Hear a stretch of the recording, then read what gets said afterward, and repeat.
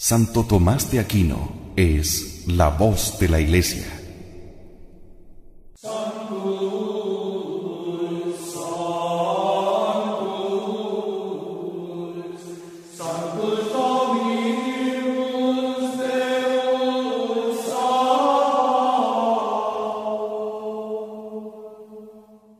La Iglesia ha tenido en el Santo Doctor la fuente infalible de la verdad revelada su análisis certero, justo y piadoso de la doctrina de los evangelios es una guía imprescindible si queremos ser católicos de verdad.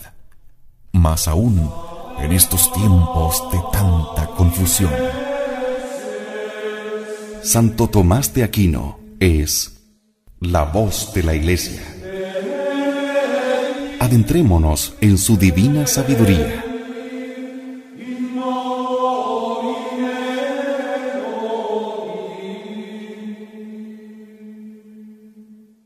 Convicción Radio.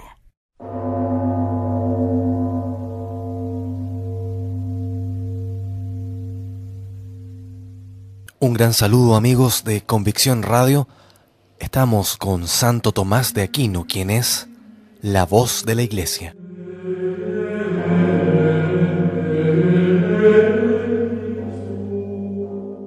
En esta oportunidad vamos a tratar el artículo sexto y séptimo del credo según los comentarios que realiza el Santo Doctor para nuestro mejor entendimiento. Artículo sexto. Subió los cielos y está sentado a la diestra de Dios Padre Todopoderoso.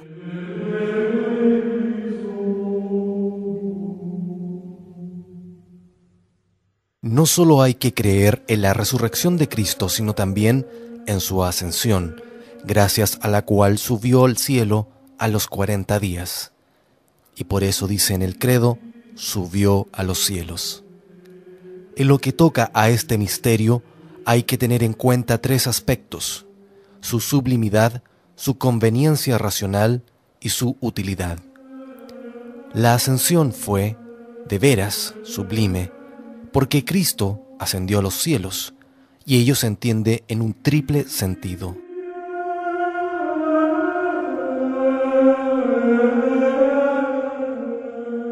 Primero, subió por encima de todos los cielos materiales.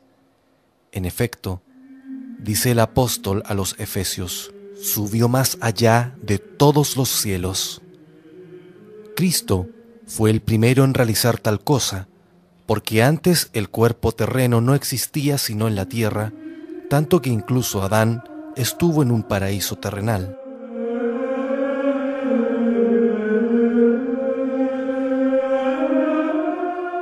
Segundo, subió por encima de todos los cielos espirituales, es decir, por sobre todas las naturalezas espirituales, como escribe San Pablo a los Efesios el Padre hizo que Jesús se sentara a su diestra en los cielos, por sobre todo principado, potestad, virtud, dominación, y por sobre todo cuanto tiene nombre no solo en este mundo, sino también en el futuro, y puso todas las cosas bajo sus pies.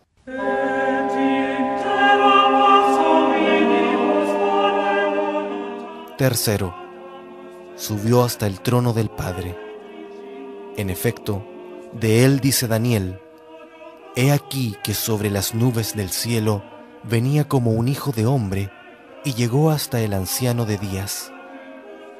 Y en San Marco leemos, El Señor Jesús, después de haberles hablado, fue elevado al cielo y está sentado a la diestra de Dios.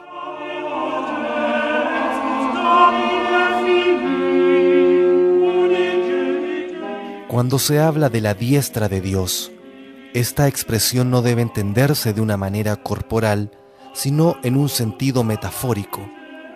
Porque si la expresión está sentado a la diestra del Padre, se entiende de Cristo en cuanto que es Dios, lo que se quiere afirmar es su igualdad con el Padre. Si en cambio se entiende de Él en cuanto hombre, se quiere decir que goza de los bienes más eximios. Tal es la excelencia que ambicionó el diablo. Escalaré el cielo, sobre los astros de Dios levantaré mi trono, me sentaré en el monte de la alianza, hacia el septentrión, sobrepujaré la altura de las nubes, semejante seré al Altísimo. Vano intento que solo alcanzó Cristo, por lo cual se dice en el credo, subió al cielo y está sentado a la diestra del Padre. Leemos en el Salterio, dijo el Señor a mi Señor, siéntate a mi diestra.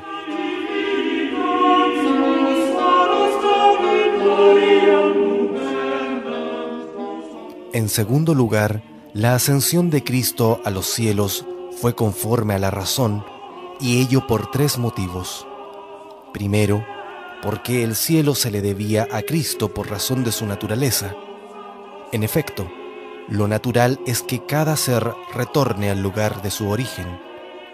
Ahora bien, el principio original de Cristo es Dios, que está por encima de todo.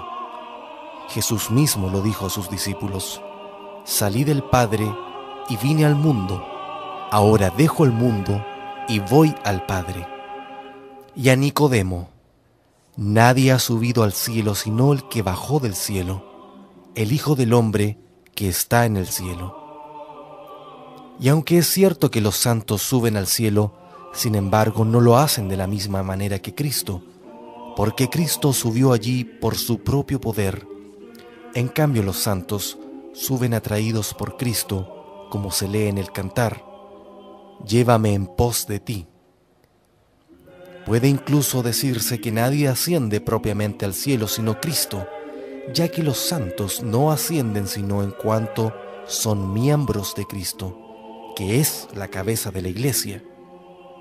Cristo dijo, donde estuviere el cuerpo, allí se juntarán las águilas.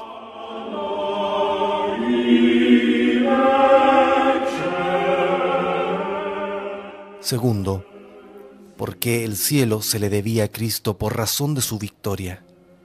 En efecto, Cristo fue enviado al mundo para luchar contra el demonio y de hecho lo venció, por lo que mereció ser exaltado sobre todas las cosas. Yo vencí, dice el Señor, y me senté con mi Padre en su trono. Tercero, porque el cielo se le debía a causa de su humildad. En efecto, ninguna humildad es tan grande como la humildad de Cristo, que siendo Dios, quiso hacerse hombre, y siendo Señor quiso tomar la condición de siervo, hecho obediente hasta la muerte, y descendió hasta los infiernos, por todo lo cual mereció ser exaltado hasta el cielo, al trono de Dios. Porque la humildad es el camino que conduce a la exaltación, según aquello que dijo el Señor. El que se humilla será exaltado.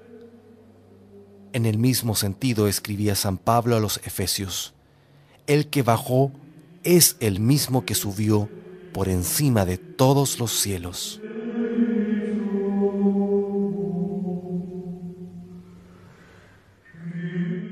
En tercer lugar, la ascensión de Cristo fue útil por tres motivos.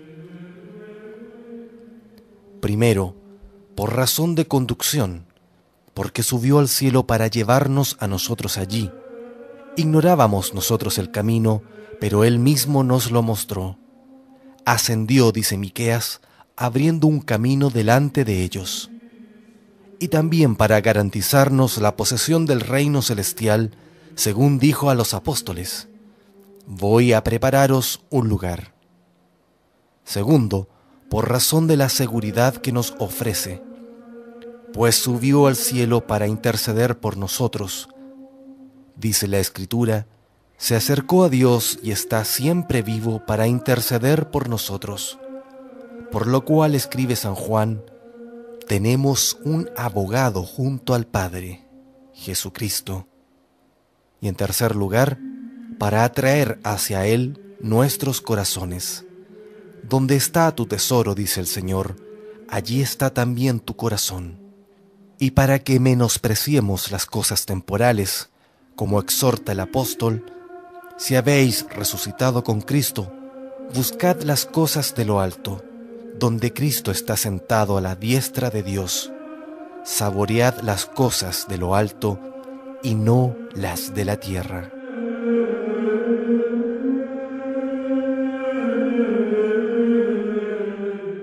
Artículo séptimo.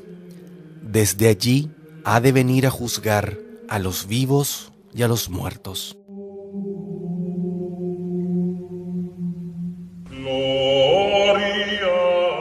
Al oficio de los reyes y señores corresponde el poder de juzgar. Dice en efecto la escritura, el rey, sentado en el trono de justicia, disipa todo mal con su mirada.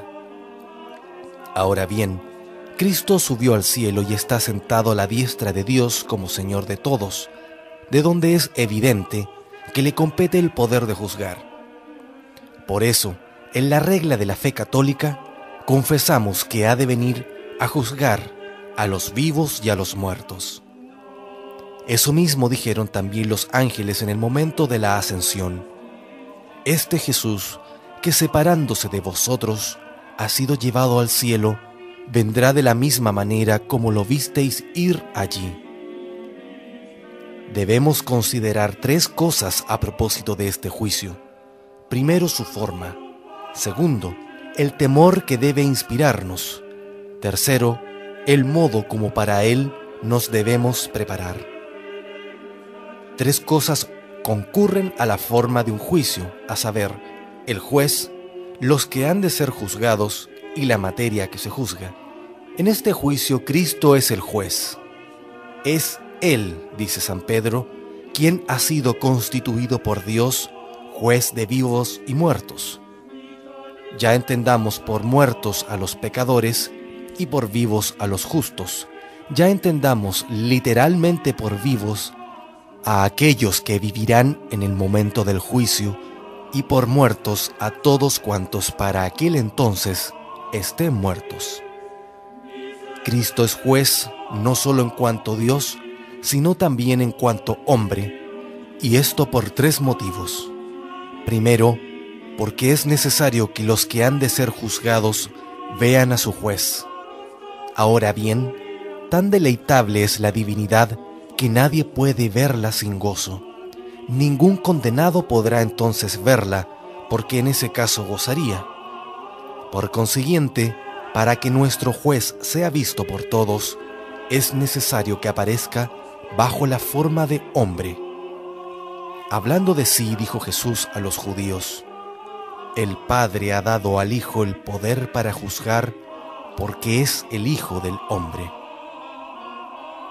Segundo, porque en cuanto hombre mereció tal oficio. En efecto, en cuanto hombre fue injustamente juzgado, y por eso Dios lo ha hecho juez de todo el mundo. Tu causa, leemos en el libro de Job, ha sido juzgada como la de un impío, recibirás la culpa y la pena. Tercero, para que, siendo juzgados por un hombre, los hombres no caigan en la desesperación, porque si solo Dios fuese el juez, los hombres, aterrados, se desesperarían. Por eso dijo Jesús, verán al Hijo del Hombre viniendo en la nube, y vendrá a juzgar a todos los que son, fueron y serán.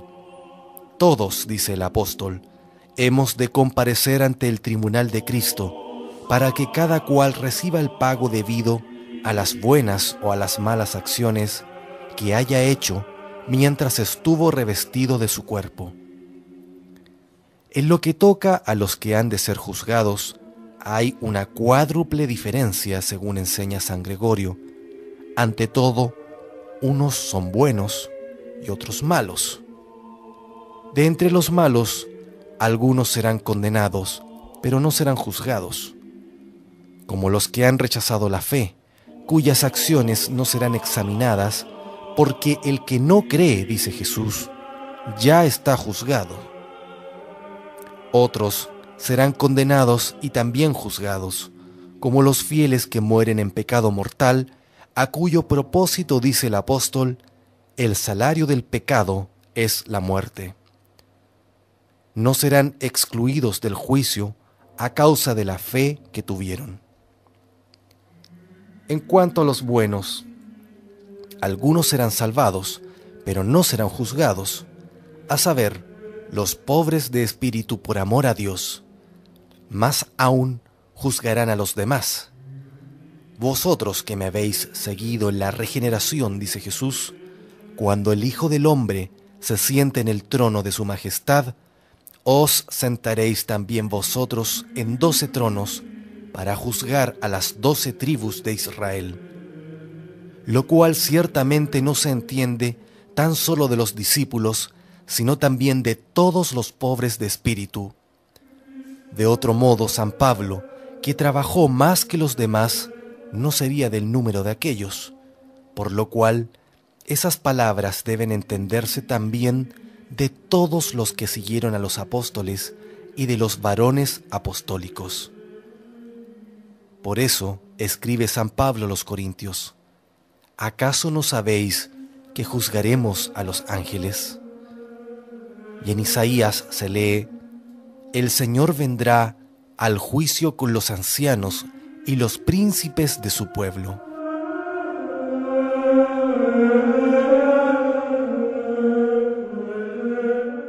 Los otros buenos, a saber, los que mueren en la justicia, serán salvados, pero serán juzgados.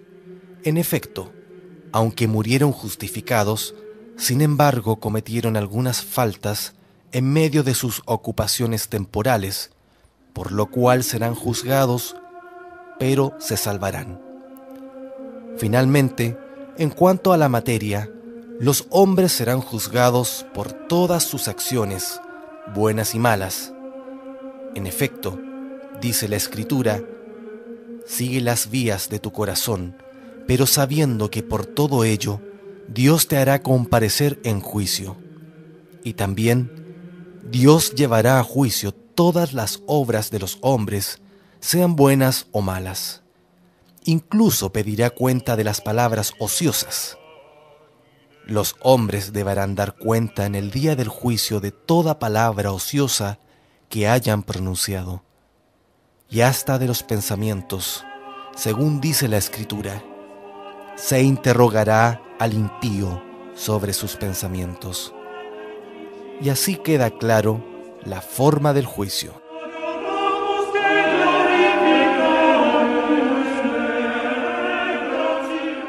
Por cuatro motivos debemos temer el juicio del Señor. Primero, por la sabiduría del juez. Jesús, en efecto, lo conoce todo, nuestros pensamientos, palabras y obras, porque todo está manifiesto y descubierto ante sus ojos, y todos los caminos del hombre están patentes a sus ojos. Él conoce nuestras palabras.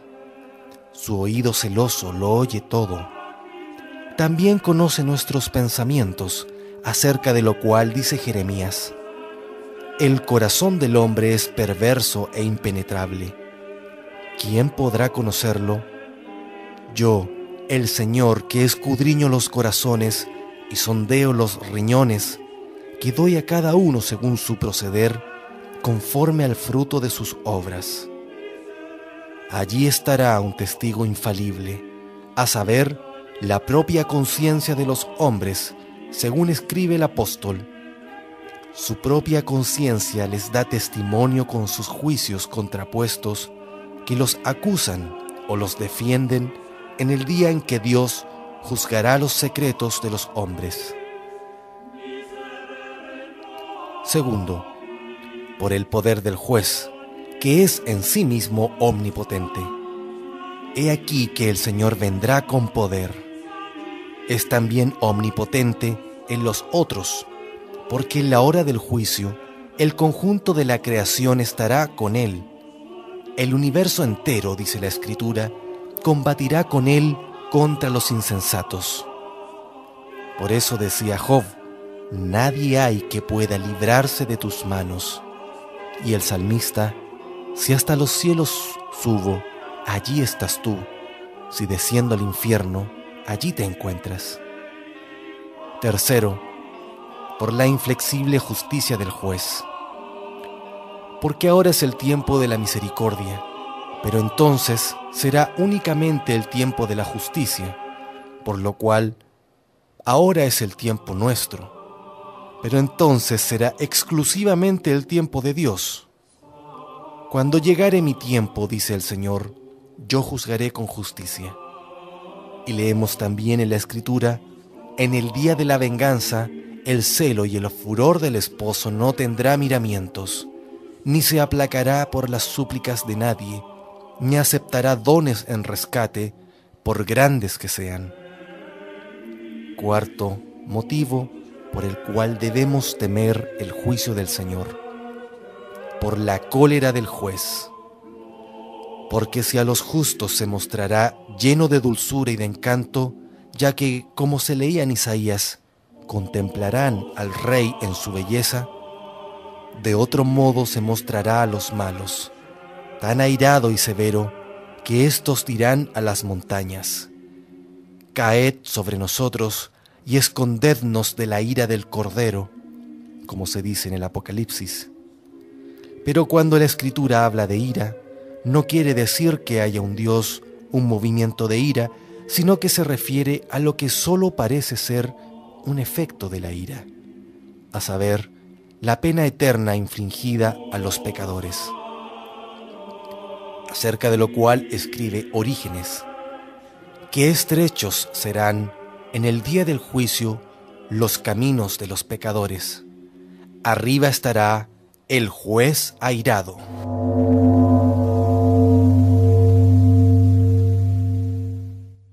Contra el temor debemos emplear cuatro remedios. El primero consiste en las buenas obras. Escribe el apóstol, ¿quieres no temer a la autoridad?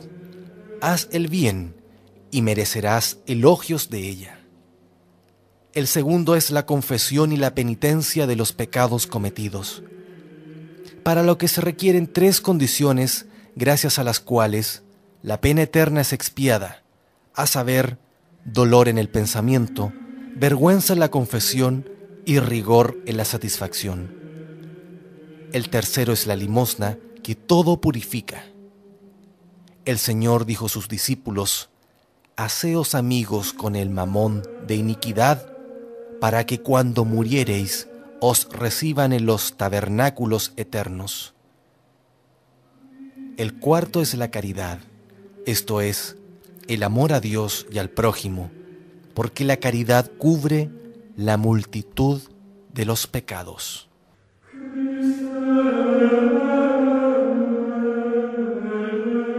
Oh Dios, que ilustras a tu iglesia con la admirable erudición de tu santo confesor Tomás y la fecundas con sus santas obras, te rogamos nos concedas la gracia de entender lo que Él enseñó y de imitar sus virtudes. Por Cristo nuestro Señor. Amén.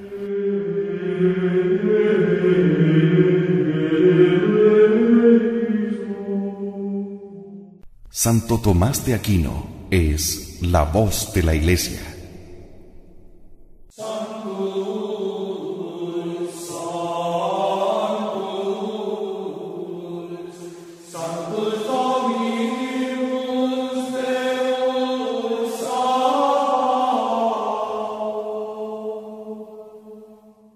la Iglesia ha tenido en el Santo Doctor, la fuente infalible de la verdad revelada.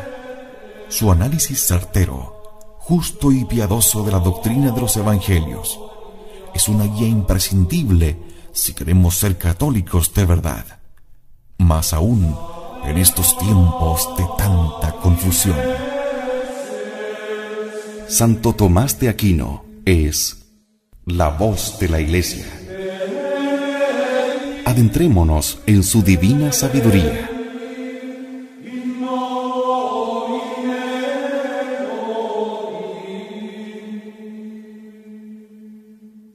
En Convicción Radio. De Aquino, quien es la voz de la Iglesia.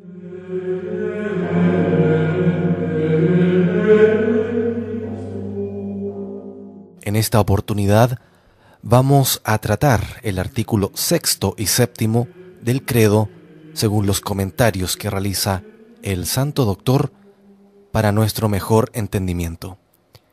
Artículo sexto. Subió los cielos y está sentado a la diestra de Dios Padre Todopoderoso.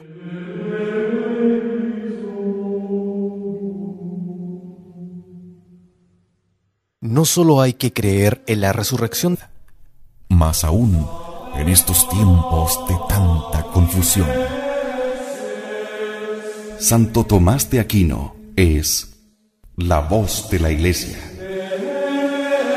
Adentrémonos en su divina sabiduría.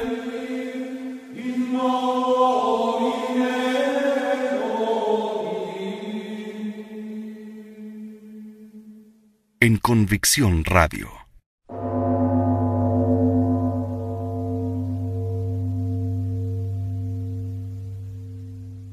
Un gran saludo amigos de Convicción Radio. Estamos con Santo Tomás de Cristo, sino también en su ascensión, gracias a la cual subió al cielo a los cuarenta días. Y por eso dice en el credo, subió a los cielos. En lo que toca a este misterio, hay que tener en cuenta tres aspectos, su sublimidad, su conveniencia racional y su utilidad. La ascensión fue, de veras, sublime, porque Cristo ascendió a los cielos, y ello se entiende en un triple sentido.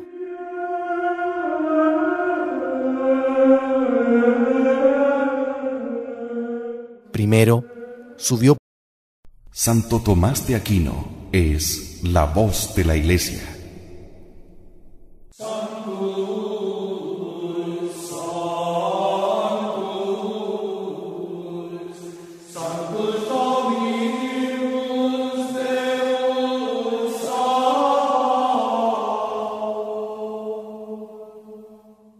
La Iglesia ha tenido en el Santo Doctor la fuente infalible de la verdad revelada su análisis certero, justo y piadoso de la doctrina de los evangelios. Es una guía imprescindible si queremos ser católicos de verdad. Por encima de todos los cielos materiales. En efecto, dice el apóstol a los Efesios, subió más allá de todos los cielos. Cristo fue el primero en realizar tal cosa, porque antes el cuerpo terreno no existía sino en la tierra, tanto que incluso Adán estuvo en un paraíso terrenal.